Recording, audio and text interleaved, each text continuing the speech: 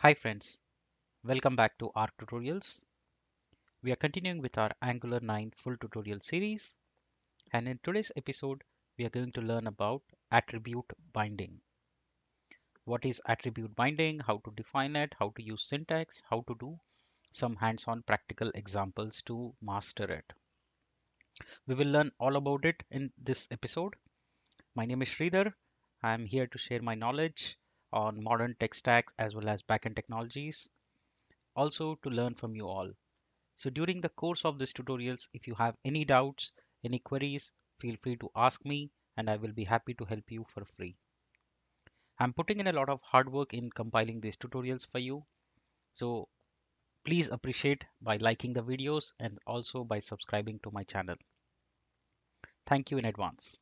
So far, we have covered around 18 tutorials, right from basic introduction, version history, CLI, modules, decorators, components, uh, to directives, to data binding, interpolation. So if you have missed out on any of these tutorial series, you can check out in the playlist I've created on Angular 9 so that you don't miss out on any concept and you master Angular 9 to the core. So we are continuing learning data binding. Uh, we know that data binding is a way to connect the data from component to template. That's one way data binding. Uh, we have covered interpolation and property binding in the previous episodes. Today we are learning about attribute binding. So attribute binding is a technique that allows user to bind the attributes of elements from component to the template. It is a type of one-way data binding. Okay, uh, just like uh, interpolation, just like property binding, attribute binding is also one-way data binding which means the data will flow only in one direction from component to the template. Now, the, there is a lot of question that gets asked that uh, how, how is it different from property binding, right? Uh, we do data binding, we do property binding. Similar way, we can do attribute binding. So what is exactly the difference between uh, both of it? We will learn about that now and also we will see some examples in the how Angular interprets uh, the property binding versus uh, the attribute binding. So let's get started on it. Uh, let's do some hands-on examples and in the course, in the due course, I will explain you how this whole things uh, work together. Let's get started with some practical. So uh, first fire up your app component uh, .html so we have our app component HTML, we have the app component.ts. Okay, so first remember that we I'll do a quick recap to show you the property binding. So if you remember in the previous episode, we did property binding where we learned about binding the property like ng style, inner HTML, ng class, placeholder. So we learned that we can do any property binding the property can be anything, whichever is valid HTML property, right? Using the square brackets. Now, similarly, you can do attribute binding also. Now, the trick here, remember that attribute, you can add any custom new attributes, right? So you can feel free to add any custom new attribute, not only the existing ones. So these are by default given by HTML right? So these are all HTML properties, right? But we can extend them by adding custom attributes that we want. Let's see that in action. First, I'm going to create a simple href and give it some, uh, uh, let's say, I'm going to put a href value and I'm going to define a simple URL, right? So I have a um, variable and I have a value to it, which is href value. Now, first I will show you how property and attribute are totally linked.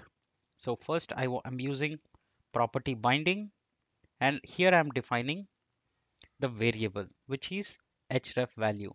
So this will give us the value uh, that is there. Let's see that. Right. So here I have a uh, element I'm doing a property binding, not attribute, remember. and I'm giving the value. Let's see that in action. Okay, so here if you see, you can see in the below that it is pointing to google.com. Here in the bar you can see it says google.com, right? When I click on it, it will open google.com. Okay, it will go to the google.com page. But now uh, this is a property of HTML. Remember, follow me friends on this. So I have a property binding, which is means it's an existing property of an element. So I'm able to bind it. Now attribute means I can have a custom property and then I can bind it. That is called attribute binding, right? Let's see that in action now. Now let's say I want to use a new property which is not there, but it, it is required by my application, right? So you can have a default property that you want to bind or you want to have a new one. So to define a new one, we will write attr that is for attribute and then we will say attribute dot let's say uh, I'm going to call it update link. Now see this property does not exist on anchor tag by default. This is a custom attribute property that I am defining, right? And I'm giving it a value. I'll say updated link. Now let's define this value in our app component and give it a value. Let's call this oracle.com, right?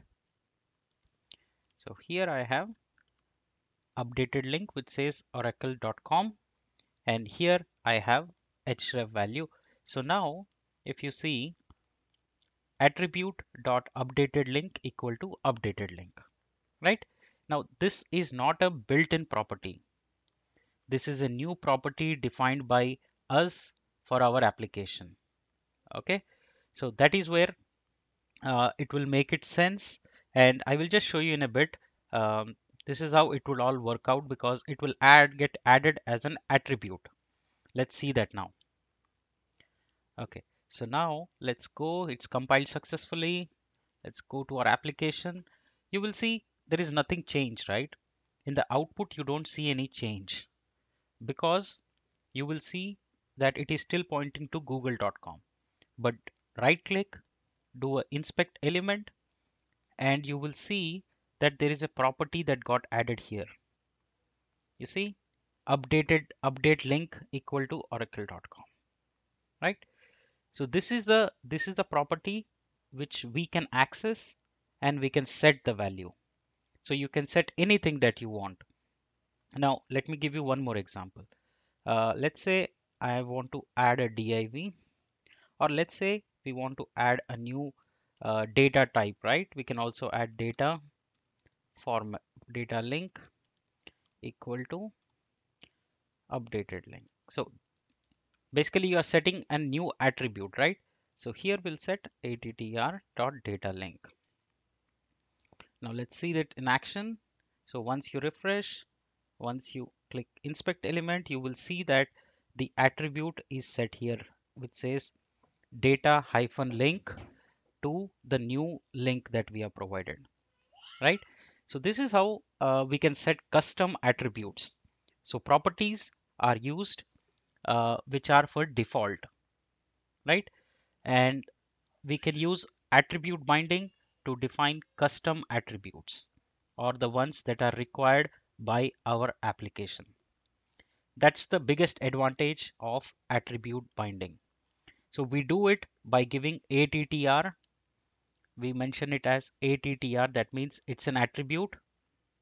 And uh, we can give the updated link. That is nothing but attr dot updated link or attr dot data link. Uh, you can give any link you want. It can be an attribute it can be a link it can be a, a any anything that you want to update basically. So this is the name of the attribute since it's a custom attribute, we are writing with attr.attribute. If you write directly, it will bind only the built-in values, built-in properties. Using attr, we are giving custom properties to the elements. You can do it to link, you can give it to HTML, you can give it to any uh, any DOM element basically, not only to link. You can give it to link, you can give it to input, you can give it to div, paragraph, span, list, image, anything, right? So that is how we do attribute binding in Angular. If follow this tutorial, try it hands on. If you have any doubts, let me know. I'll be happy to help you. If you like the video, give like the video. Please uh, subscribe to my channel to get more updates and more tutorials. In the next uh, tutorial, we are going to learn about event binding. What is event binding? How does it work? How does it play into the interpolation and data binding? Thank you so much for joining. See you in the next episode.